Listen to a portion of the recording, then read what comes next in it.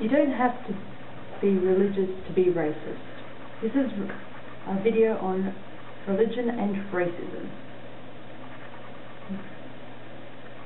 Many racist people are religious, but then again, many people who aren't racist are also religious.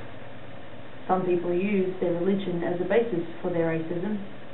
Some people use their religion as a basis for their opposition to racism saying that religious people are more likely to be racist is probably more based on the conservative, conservative sort of people who tend to have conservative beliefs.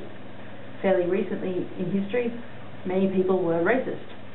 So conservatives who the whole, whole aim of conservative con conservation is to keep things going as it is, keep things going.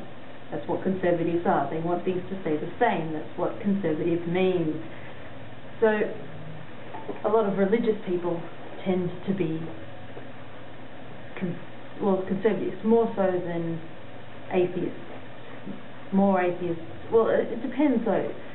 You know, there's religious, there's economical, and there's um, social. But let's stick to the social side of things, okay?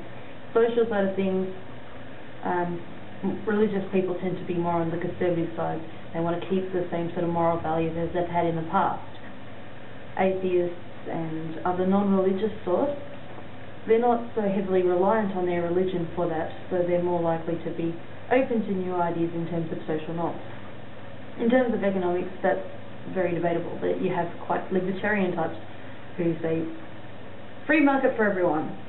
Then you have the the liberal sorts who say, no, we need to control things, we need to make things more equal, make things better for everyone so that everyone can have a better chance at living the way they want. Um, and anyway, that that's where the conservative and liberal thing comes into that.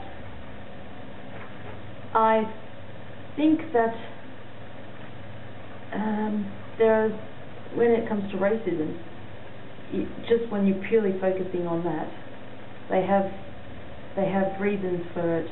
Like I'm talking about the hardcore racists here. I'm not talking about the people who go, "Ooh, he's black," you know, or they should learn these illegal immigrants. They should learn to speak English and you know, blah blah blah blah, and like, oh, and you know, oh, I don't want my kid marrying a so and so. That that that's you know, not that sort of racism. I'm talking about the hardcore racists um, who who are actively like my race is better than yours, you know, black power, white power, uh, Asian power, or whatever.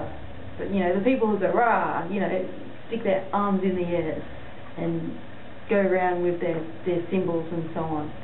Um, th those sorts of racists.